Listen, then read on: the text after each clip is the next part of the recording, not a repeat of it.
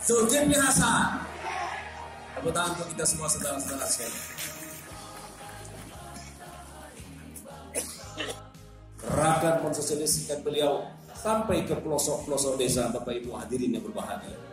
Maka insya Allah dengan adanya Rakerwil nanti pada siang hari, inilah langkah-langkah konkret yang harus kita lakukan. Bagaimana mengenalkan Zulkifli Hasan tidak hanya di dapil satu, tapi seluruh provinsi Lampung sampai ke pelosok-pelosok desa. Kita akan menghantarkan gambar-gambar beliau masuk dalam rumah-rumah setiap penduduk yang ada di Lampung. Mengenalkan siapa Zulkifli Hasan.